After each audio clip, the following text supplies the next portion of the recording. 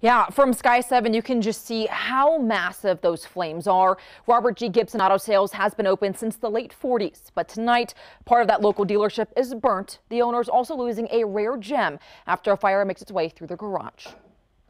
It's pretty heartbreaking. This is what's left of a car dealership after a fire spreads to their property. It was probably about 6:15 or so, and we heard like this uh, shot. We thought it was a gunshot. That's when Tom Pennington and the sales manager rushed outside, finding smoke coming from the north side of their property. I went further back into the alley area, and the whole alley where the, the carts and stuff were were already engulfed, and the fire was starting to creep under the fence of the of the property. The mechanic garage then erupting in flames. Now, half the roof is gone, and inside, this. We have like a 1931 Roadster, and um, it meant a lot to us. The Penningtons spent countless hours fixing this beauty.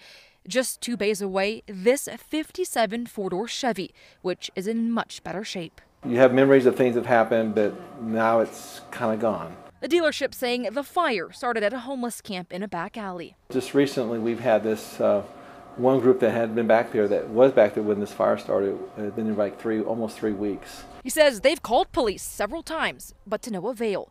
The store manager taking this video moments before the fire spread. It was totally engulfed where the, their camp was.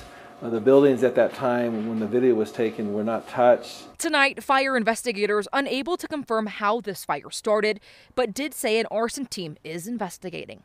Luckily, no one at that dealership was injured. The owner says they hope they can start cleaning up and getting the place back to normal. And in the meantime, they will be staying open for business. I'm Sasha Leninger, KOAT Action 7 News.